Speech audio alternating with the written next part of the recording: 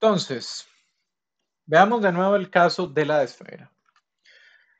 Tenemos alfa, que es x de cuadrado, y de cuadrado, z de cuadrado, pero anteriormente, esto, estos, eh, esto que vemos acá, x de y de z de, es el vector unitario de dirección. Quiere decir que esto es igual a 1. Alfa va a ser igual a 1, por lo que al fin y al cabo, la solución de la ecuación para el caso de la esfera es lo que tenemos en esta expresión. Menos beta más menos beta cuadrado menos 4 gamma entre 2. Y el discriminante es beta cuadrado menos 4 gamma. Tenemos esta, esta simplificación por ahí.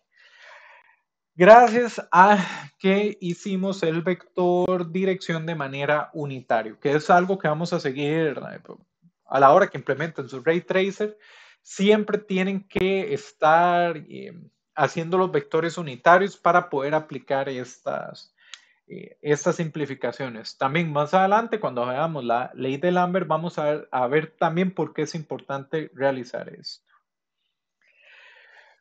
Vamos a analizar eh, el caso especial, que es cuando el discriminante nos da mayor a cero, que es el caso de dos intersecciones. Pero en el caso de la esfera,